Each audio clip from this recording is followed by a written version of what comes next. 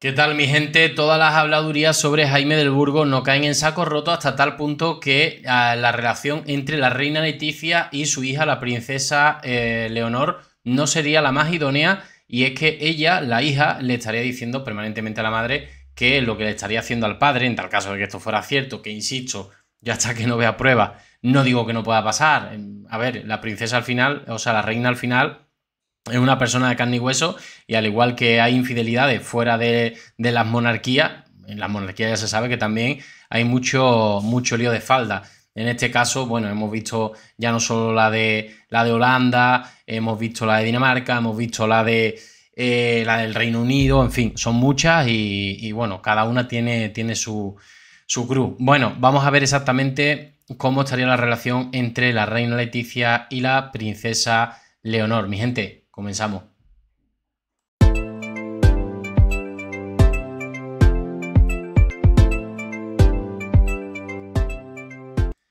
Bueno, y es que como os decía, la relación está un poco enturbiada por las filtraciones de Jaime del Burgo y evidentemente pues eh, yo creo que un hijo o una hija siempre normalmente se suele posicionar no por el padre que más quiera, sino en este caso por la víctima. En este caso la víctima sería el rey Felipe VI, al cual pues habría sido eh, la reina Leticia infiel con Jaime del Burgo y otros hombres que están sonando, pero sobre todo el de Jaime del Burgo, digamos, es el oficial, el amante oficial, ¿no? Leonor y Leticia, la, madre, la eh, relación entre madre e hija es tóxica, no le perdona las infidelidades a papá. La princesa Leonor se distancia aún más de su madre. Bueno, la relación entre la reina Leticia y la princesa Leonor ha sido objeto de escrutinio público en los últimos tiempos especialmente con las recientes eh, acusaciones de infidelidad que han eh, sacudido a la monarquía. Por cierto, no sé si tenéis eh, alguna idea de cuándo Jaime del Burgo va a publicar el libro. Creo que dijo que era en junio, ¿no? Si no recuerdo mal, ya queda poco. ese libro autobiográfico o era para después del verano, no recuerdo bien. O no, no recuerdo incluso si, si lo llegó a confirmar, pero ese libro, por más que lo quieran ocultar, en la televisión, espero que hablen de ello. Al final no se puede tapar el sol con un dedo.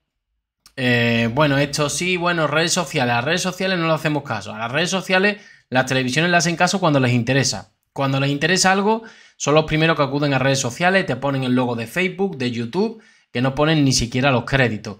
Pero cuando les interesa, ya, ya os digo que si acuden. Bueno, asimismo, la reina es reconocida por su carácter decidido y su firme control sobre su entorno ha mantenido una dinámica maternal que algunos eh, observadores describen como dominante y restrictiva, especialmente con respecto a sus hijas Leonor y Sofía. La esposa de Felipe VI ha demostrado ser una figura que no tolera fácilmente la contradicción. Su estilo de crianza ha sido caracterizado por imponer reglas estrictas y ejercer un control meticuloso sobre diversos aspectos de la vida de sus hijas desde sus actividades cotidianas hasta sus interacciones públicas, dejando a menudo eh, poco espacio para su autonomía. De hecho, en algunas ocasiones, bueno, esto lo hemos criticado un montón, que yo entiendo que una madre o un padre eh, te ponga normas, te ponga trabas, te ponga, no, no trabas queriendo, me refiero, te ponga trabas en el sentido de que tú como niño mm, te sientes que es una traba que te digan recogerte a las 2 de la mañana. Eh, tienes que ir más arreglado para la boda de no sé quién. No podéis ir en vaquero. A ver, eso se entiende, ¿no?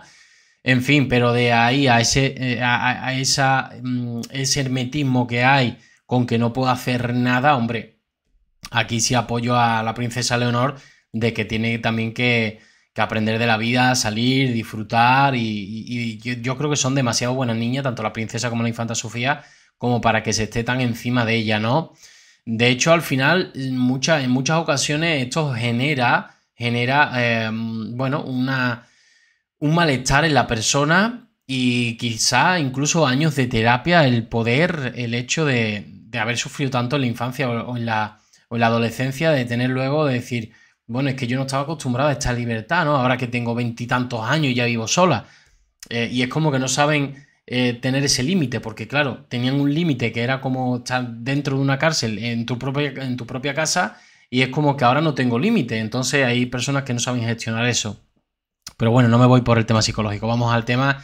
De hecho, en algunas ocasiones incluso han llegado a marginarlas, como sucedió en la entrega de los premios Princesa de Asturias el pasado mes de octubre, Durante el evento, Leticia y Felipe VI se encontraron en el mismo lugar donde se tomaron su primera fotografía hace más de 20 años, momento que un periodista rememoró, niñas apartaron que vosotras no existíais, les petó a sus hijas mientras las apartaba para recrear la fotografía de hace dos, décadas atrás, subrayando su propia relevancia en la escena.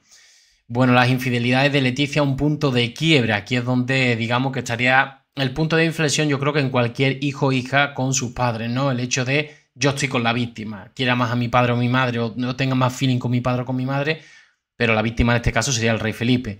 Sin embargo, en las últimas semanas la, dinámica ha experimentado un cambio drástico con la revelación de presuntas infidelidades de Leticia, el rey Felipe VI, con Jaime del Burgo. Estas acusaciones han sacudido los pilares de la monarquía, dejando a la reina en una posición vulnerable y debilitando su autoridad como, madre, hasta tal punto que está debilitado su poder dentro de la eh, Casa Real Española, eh, que ella jamás hubiera acudido a un cumpleaños, mm, o sea, si ni, siquiera va a actos oficiales eh, de, oye, se casa no sé qué, en el bautizo, en no sé cuánto, si ni siquiera va a, sitios más importantes, ¿por qué va a un mero cumpleaños de, de la infanta Elena, no? Era como algo raro, o sea, a cualquiera mm, que, entendiera un poco de monarquía, le pregunta, oye, ¿tú crees que va a acudir, que, va a acudir la reina Leticia al, cumpleaños? Pero qué chorrada es esa, ¿no? En fin, aunque la princesa Leonor y la infanta Sofía eran aún jóvenes cuando ocurrieron los presuntos hechos, ahora son lo suficientemente mayores como para comprender la gravedad de la situación. En consecuencia, la confrontación entre madre e hija se ha vuelto inevitable, especialmente por parte de Leonor, quien ansía respuestas ante el torbellino de rumores que han sacudido a la familia real. Yo creo que la conversación sería tal casi de, oye mamá, esto que te están diciendo en las redes, no sé qué. No, no, eso siempre están en contra mía, siempre hay gente...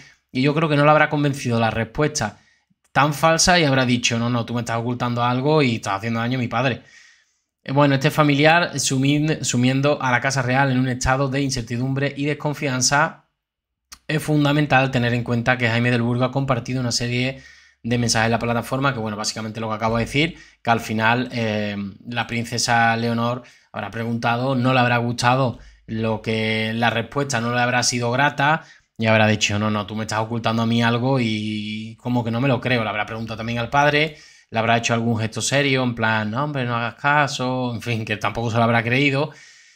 Y como decía, y terminamos, esta situación ha dejado a la princesa Leonor en una posición sumamente delicada en su camino hacia la sucesión al trono, la imagen impecable de su madre, que una vez eh, fue indiscutible, ahora se ve empañada por las acusaciones de infidelidad, lo que ha creado un distanciamiento entre ambas. Ante esta coyuntura, la princesa ha tomado la decisión de posicionarse del lado de su padre, una acción que revela las grietas que han surgido en la unidad familiar y subraya la complejidad de su papel en medio de la turbulencia que atraviesa la casa real. Bueno, siempre se ha dicho que se llevaba mejor con el padre y que es verdad que tenía feeling con la madre, por el hecho de ser mujeres, la ropa, la moda, no sé qué.